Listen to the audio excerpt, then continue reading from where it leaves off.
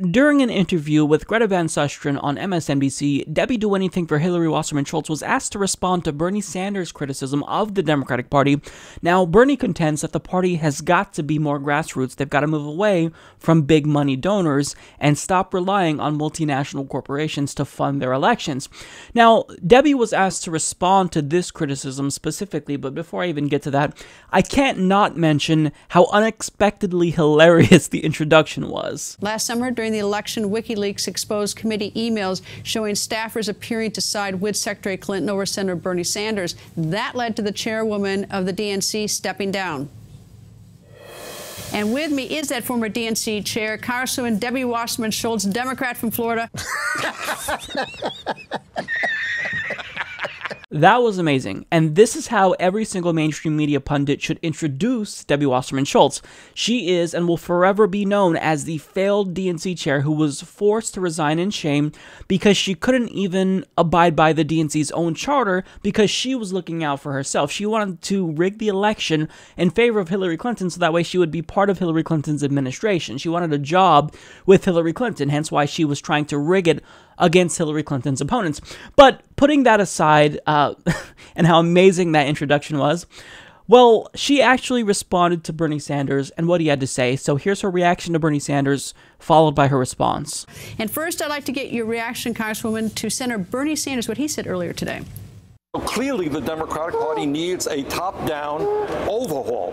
And that top down overhaul means that instead of becoming dependent and being dependent on big money interests for campaign contributions, it has got to become a grassroots party. It has got to start speaking and acting and fighting for working people, for young people. Perez has got to capitalize that, and that's the kind of party I think has to, the Democrats have to create.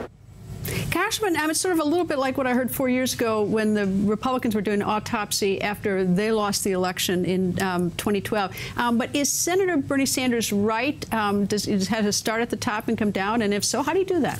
Well, I mean, first, let me just say, um, it, I'm not sure why the chair of either national political party asking for staff resignations is news because it's a pretty routine practice. It is important for each chair to be able to, you know, shuffle the footprint and make sure that they analyze their staffing so needs. What about, what all about that what, this was? What about what uh, Senator Bernie Sanders says? I mean, what's going on with the Democratic Party, or what should go on? Well, you know, respectfully to Senator Sanders, um, we are already a grassroots party. I mean, if we were not, we would not have been able to help bring down the absolutely abhorrent health care repeal bill that uh, that would have knocked 24 million people over 10 years off of their health care, that would have increased costs astronomically for people who were between 50 and 64 years old, increased prescription drug prices. So he's wrong. And so, no. Um, I, I, it's actually more like semantics. We all agree that we should be and we are a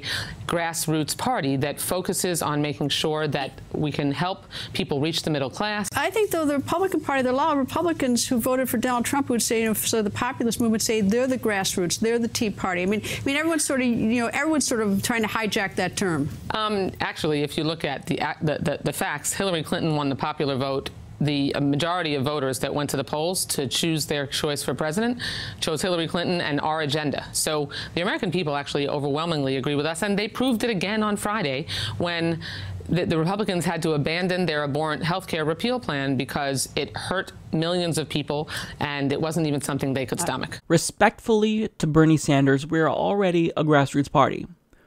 Really, Debbie? If I'm not mistaken, you were the same person who defended the use of superdelegates because you said that they were kind of the failsafe to protect the establishment against the grassroots. Unpledged delegates exist really to make sure that party leaders and elected officials don't have to be in a position where they are running against grassroots activists. So now you're saying you already are a grassroots party, but back then, during the primaries in 2016, you were contending that the grassroots, or you implied certainly that the grassroots were a problem and they kind of got in the way of the Democratic Party establishment. So, which is it? And you don't realize that when you say things like this, you make yourself look absolutely ridiculous because you're literally trying to convince us that the same party that had to undergo training just so that way they can learn how to talk to real people is actually out there in the trenches with ordinary Americans organizing with the grassroots activists. She's saying the same party that rejected a ban on corporate lobbyist money is supposedly grassroots. Debbie, there's not a single person that believes you. Not one.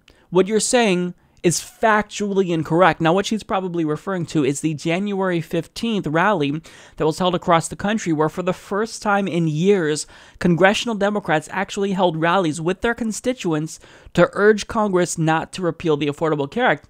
However, you don't get to take credit for this because this was organized by Bernie Sanders. When he was made the Democratic Party's outreach leader, he organized this event. So you don't get to take credit for that because you are part of the same group of Democrats that contend, well, you know, Bernie Sanders isn't a Democrat, so, you know, we'd love to have him, but he's an independent. So until he's actually a Democrat, then we can't really get behind Bernie Sanders. However, you don't get to take credit for something that Bernie Sanders does if you claim he's not a Democrat, which is it? You can't only say that Bernie Sanders is a Democrat and is part of your team when it's convenient for you. Now, she also tries to take credit for what constituents in town halls across the country is doing. She said, well, you know, as evidence that we defeated this abhorrent repeal attempt by the Republicans to get rid of the Affordable Care Act, well, you saw what we did. We rose up in town halls across the country. But Debbie, you don't get credit for that as well. The constituents that showed up to town halls across the country to demand that they did not repeal the Affordable Care Act, well, those same constituents were showing up at Democratic town halls. Now she claims here, you know, what Bernie Sanders is saying, it's more like semantics because, quote, we all agree that we should be and we are a grassroots party. Debbie, you are not a grassroots party. The reason why you lost and were decimated and have zero power in every single level of government is because you moved away from the grassroots and you specifically facilitated this shift. I mean, you were the one who rolled back President Obama's ban on lobbyist contributions to the DNC. President Obama was a corporate Democrat through and through, but even he realized that, you know, maybe it's a bad look and maybe people will think that we're not representing them because we aren't. So maybe we should at least put this ban on lobbyist contributions so that way it appears as though we represent the voters. You did away with that. So you're honestly trying to tell us now that you're the party of grassroots? And then she goes on to cite the popular vote as if the people that voted for Hillary Clinton didn't just vote for her as a means of defeating Donald Trump. This implies that people were enthusiastically supporting Hillary Clinton when she was one of the most historically disliked candidates ever and she claims that the American people overwhelmingly agree with the party. Well, agree with you on what? What do you stand for? Because anytime I see a Democrat asked what it is the party stands for, uh, they have no answer. So, agree with you on what? What we agree with is the policies that Bernie Sanders is espousing, and we agree with Bernie Sanders because he's actually talking about the policies. He's not espousing platitudes that mean nothing, that have zero substance, unlike the rest of the Democratic Party establishment. Because if you don't actually have something like a tangible policy that would really benefit voters, you can't do anything but espouse platitudes. So, I don't know what you're talking about here, Debbie, but you're making yourself look really foolish, and not a single person believes that the Democratic Party is already the party of the grassroots.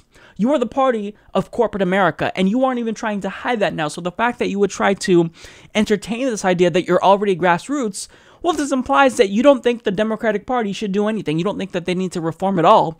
When you were wiped out, again, in the House, the Senate, the White House, uh, you don't hold a majority of governorships.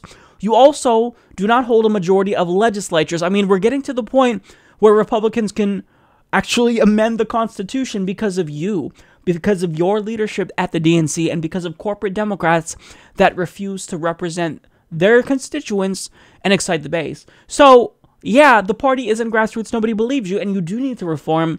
And I don't know why you're talking on MSNBC. You have zero credibility. Again, you resigned in shame, Debbie. Support this podcast by joining the independent progressive media revolution today at humanistreport.com.